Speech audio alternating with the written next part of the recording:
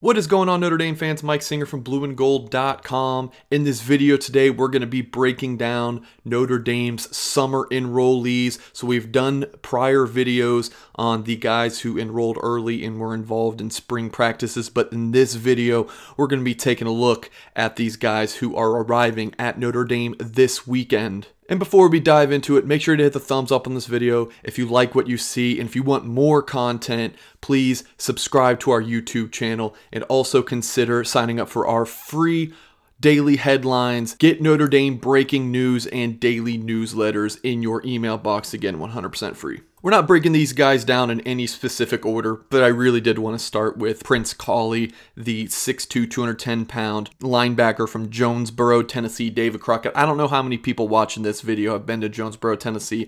I have twice. Um, it's a really neat town situated um, in the mountains of Tennessee, um, and uh, it's all about football there. The David Crockett, Daniel Boone rivalry, and I saw that game in 2020 where Prince Kollie took over and and led his team to victory. He had 18 carries for 124 yards and two touchdowns, plus eight tackles and one for loss in the win in the 50th anniversary of the Musket Bowl. During Prince Kollie's career at David Crockett, he totaled 250 rushes for 1,951 yards and 31 scores to go along with 105 receptions for 1,683 yards and 16 scores. Recorded, get this, 252 tackles during his high school career, 17 TFLs, a couple of sacks, 5 interceptions, 17 passes defended, a couple fumble recoveries, and 3 forced fumbles. The accolades for this guy are long. It's a long sheet.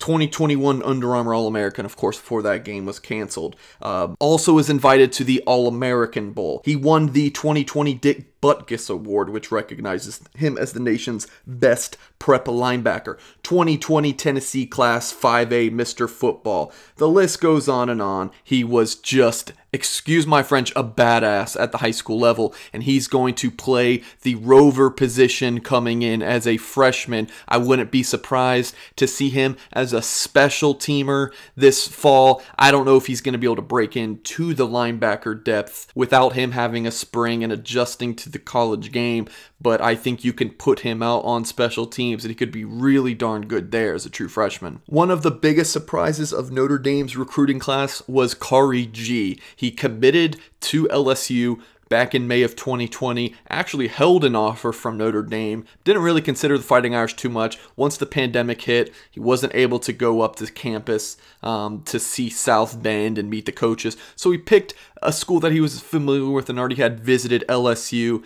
But as his recruiting process went on, um, even though it was closed, he, you know, he hadn't signed anything yet. Um, didn't love where things were at with LSU, gave a call to former Irish safeties coach Terry Joseph about a month or so uh, before the early signing period in December, and Joseph and company were extremely excited to take that call. Played in 32 career high school games and totaled 118 tackles, 20 tackles for loss, 4 interceptions, 8 passes broken up, 2 forced fumbles, and 1 fumble recovery. He's a rangy safety. Could he end up playing a rover position? I don't know, but Khari Gee is someone I look at as a defensive athlete. Can play multiple spots in the back end, potentially even Rover Khari Gee, another fine addition to that defense. Another one of my favorite players that arrives this weekend in Notre Dame's class is Audric Estime from St. Joseph Regional in New Jersey.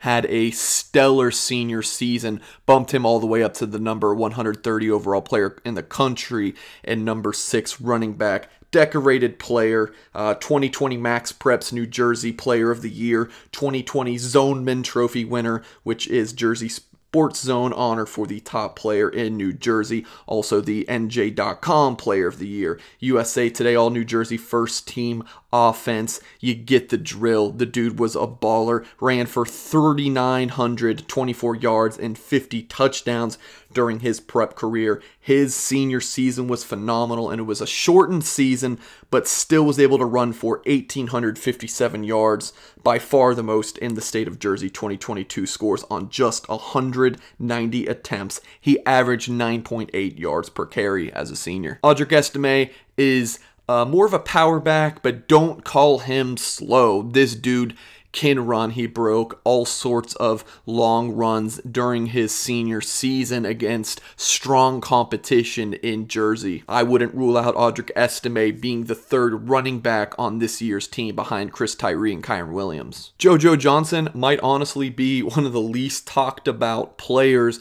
in this recruiting class, but he came on as a senior and was dominant on both sides of the ball. Recorded 12 carries for 156 yards and 3 touchdowns, reeled in 47 catches for 878 yards and 10 scores, returned 4 kickoffs for 201 yards and a touchdown, and notched 17 tackles and 7 passes broken up on defense. People just did not throw him the ball, or throw the ball his way, I should say. 2020 Post Tribune Offensive Player of the Year, 2020 Indiana Max Preps All State High School second team defense.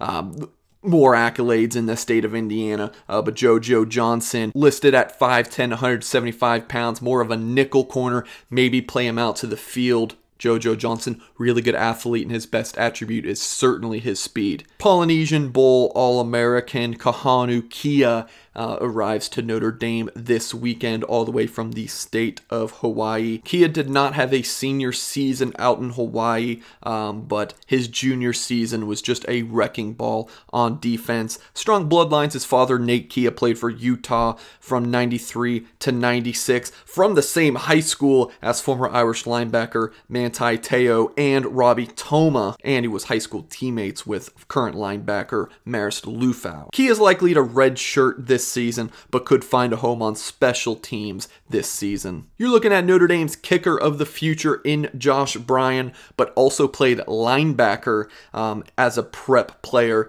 and recorded 172 tackles, 9 tackles for loss, 5 sacks, 21 QB hurries, couple interceptions, and a couple passes defended in his career. Also punted 54 punts for an average of 37.3 yards per attempt, had 101 touchbacks on 200 246 kickoffs in high school and was 22 of 38, which is a 58% on field goals, and had a long of 47 during his high school career. A player I've seen more times than I can count, Jayden Thomas uh, from Atlanta Pace Academy, four star receiver, pick Notre Dame over the likes of Alabama, Florida, Georgia, Ohio State, Michigan, and many others. Thomas totaled 111 career receptions for 1,656 yards and 13 scores during his prep career. Thomas is also a big time baseball player and might play two sports for Notre Dame. Thomas is deceptively fast, um, but I call him a twitchy technician at the receiver spot. He's not a blazer, but he knows how to create separation, and getting out of his routes is very twitchy and is a very good athlete. This was one of Notre Dame's most drama filled recruitments.